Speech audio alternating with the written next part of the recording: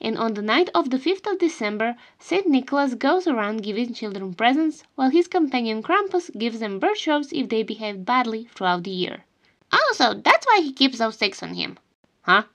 I thought they were for something else. What are you talking about? Wee-you-you-kitty, You are. Wee-you-you-kitty, You are.